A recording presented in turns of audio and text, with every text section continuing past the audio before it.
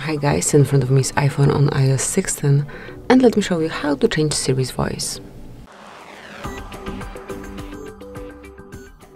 So if you wish to change the voice of your Siri, all you have to do is to open the settings, then find and select Siri and search, and here you will notice Siri voice.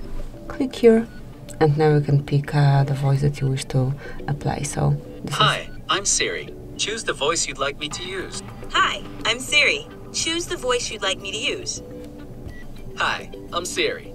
Choose the voice you'd like me to use. Hi, I'm Siri. Choose the voice you'd like me to use.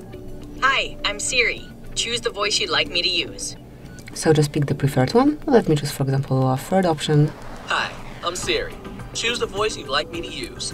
And then you can also uh, pick the accent, so it can be American, Australian, British, Indian, Irish, so Af African, it's up to you. Let me pick, for example, British. Hi, I'm Siri. Choose the voice you'd like me to use. And now you've got two voices only here uh, for British option. Hi, I'm Siri. Choose the voice you'd like me to use. Once you choose, for example, Irish, Hi, I'm Siri. Choose the voice you'd like me to use. you also have got two Hi, options. I'm Siri.